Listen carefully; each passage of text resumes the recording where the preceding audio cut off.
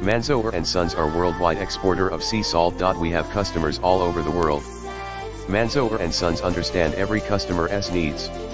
We offer high quality products for reasonable prices. We export our products directly from our manufacturing facility. Where sea salt come?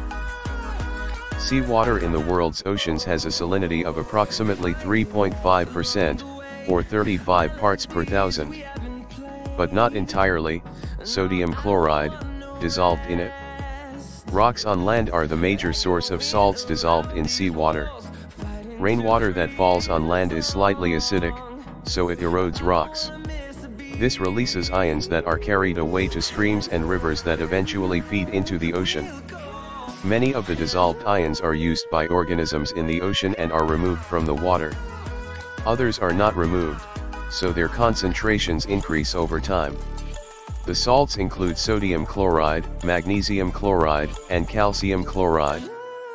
Contact us Manzoor and Sons.